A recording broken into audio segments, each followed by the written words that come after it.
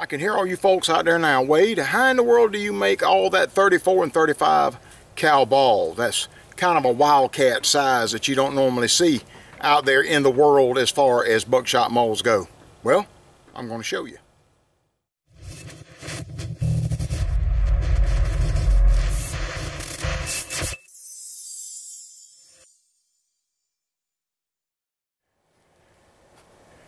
Well, the first thing you're going to need is a mold. This one makes 34 caliber.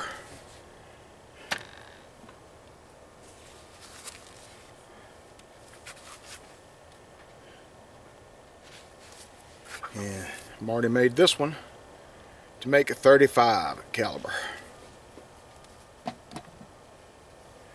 All right, let's make some up. Alrighty, we'll get started with the 34 cal. I've already graphited it all up. It's been sitting out here on the 20 pound pot for probably 30 or 45 minutes.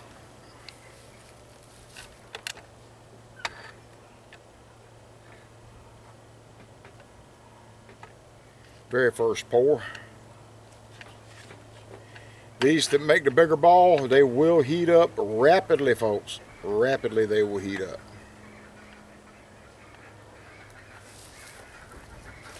See if I can pull it apart without the, yeah. And we got a full pour. Hot alloy, hot mold. That's what's gonna happen. Let me get me a, get me a knocker. Alrighty.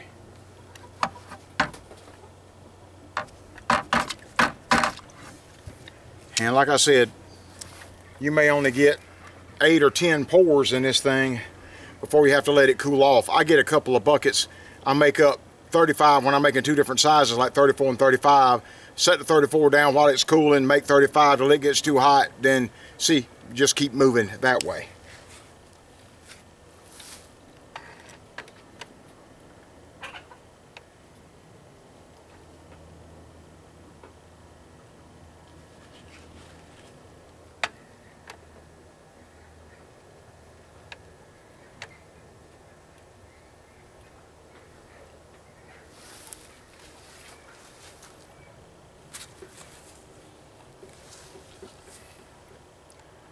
Full pour. Like it when they're both sticking same side. Yeah. Fall out real easy. The bigger pellets are a lot easier to work with. It's just the molds heat up super fast.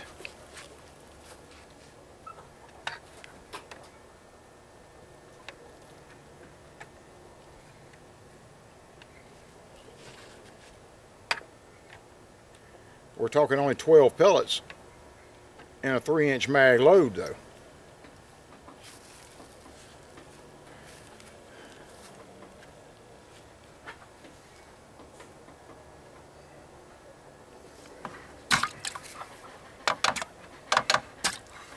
Whew.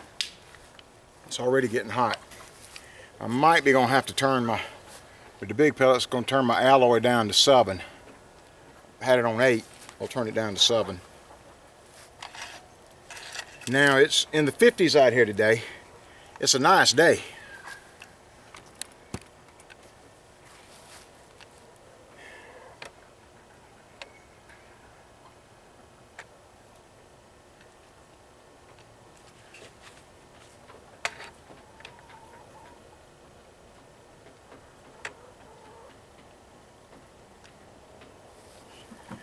Okay.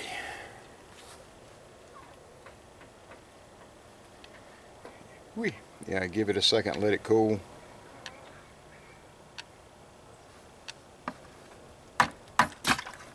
Woo! Daggone lead hitting and splashing up on my arm.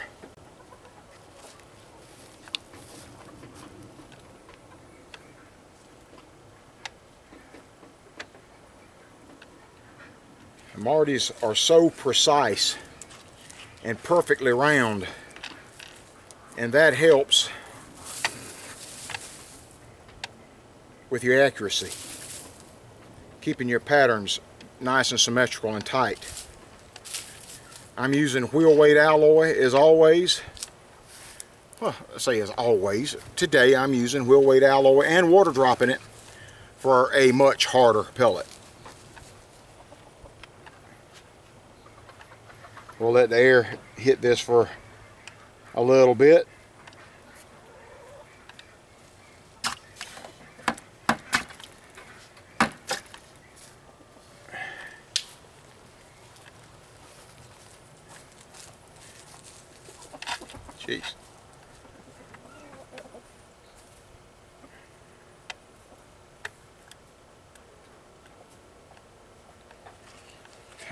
Wait till Lee gets the two 220 volt pots in.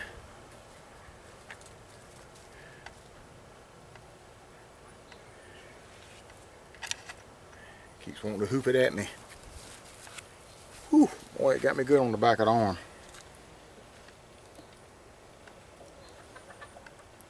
Got a full pour every time.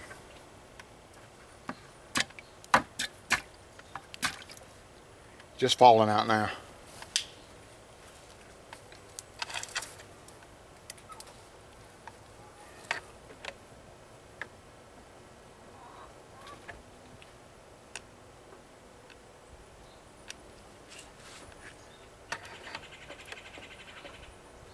When I first started experimenting with uh, with 34 caliber, I picked up a bag of nickel plated 34 cal from um, actually it was listed as double aught. Measured it and it was 34 caliber. These things uh, come out of Italy, come out of France or Italy or wherever they get these pellets like that and they're basically in metric sizes and they try to rate it as close to English whatever English is closest to. And if it happened to be 34 caliber uh, metric size that's closer to 34 cal, it's still going to call it a double aught, which is 33 caliber technically. But they performed so well for me. I got Marty to make me a 34 cal mold. And it was the same with the uh, with the 35 caliber only 35 cal I could find was uh, Lee and a double uh, ball mold from Lee that uh, that was made for muzzle loaders. Real, it must be a real common size for some uh, for pistol or and or rifle and muzzle loaders. And so I was making two pellets at a time to check the 35 caliber and holy cow, did that stuff work out good. So I got Marty to make me a 35 cal also.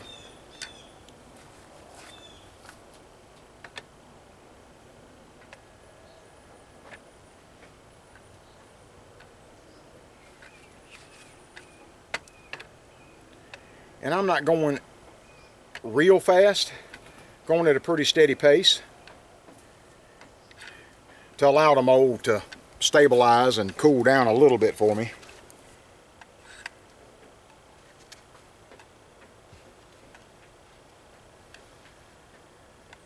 Got a full pour every time. Probably just gonna go on ahead and uh, move on to the 35 caliber so this video don't run so blame long and you fellas can see how it works out. Stand by. All right. Now we're gonna try the 35 caliber triple aught.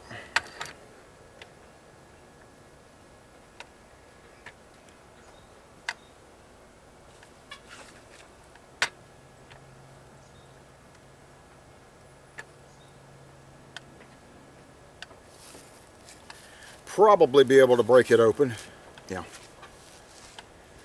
Well, we got, somehow I missed the, the ends right there. That was probably my fault. Probably just didn't hit it right. First pour.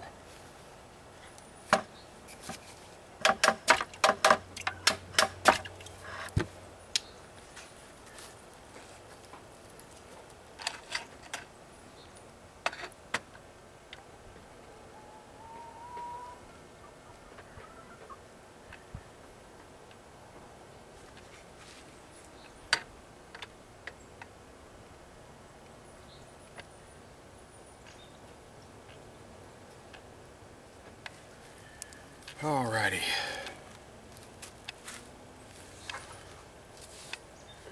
All but one that time.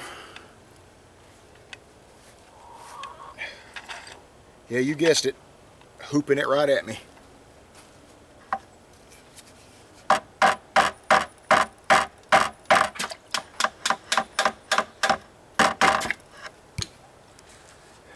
Thirty-five cal still big pellets. Same with 34 caliber.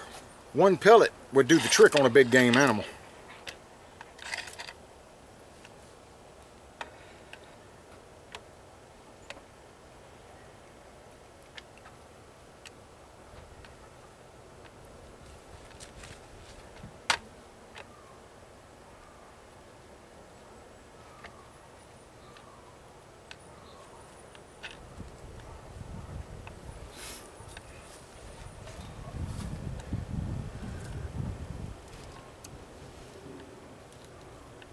Only minus one pellet.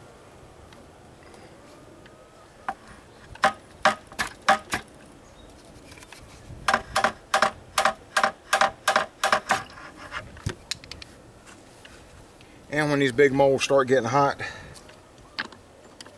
your handles may start loosening up on you too. Just take a flathead screwdriver and snug them down.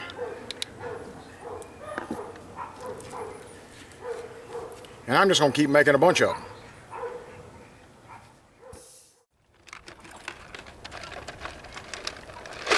Just going back with sprue today.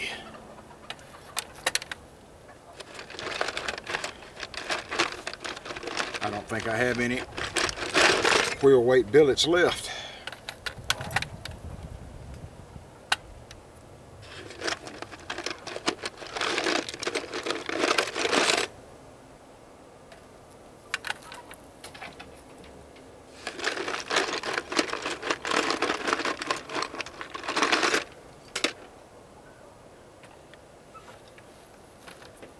add all cold alloy and it'll take it a few minutes to warm back up.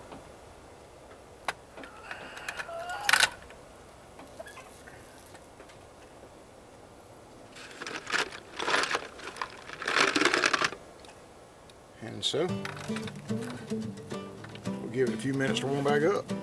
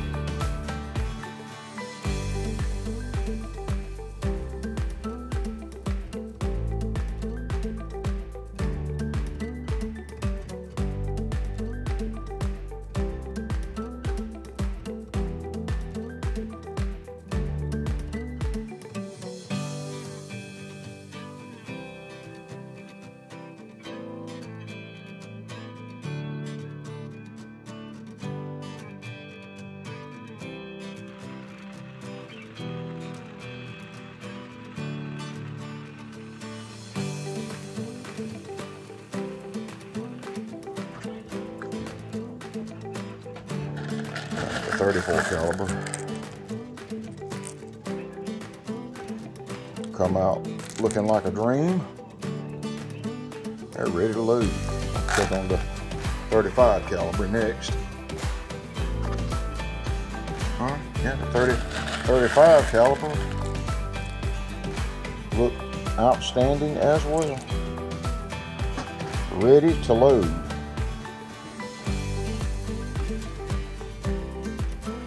Appreciate you riding along with me, folks. Uh, if you uh, if you need a 34 35 cal mold or you need any kind of buckshot mold, click on the link below in the description for Marty's Arms and you'll get a 10% discount under the BRO discount code. We'll see y'all on the next one.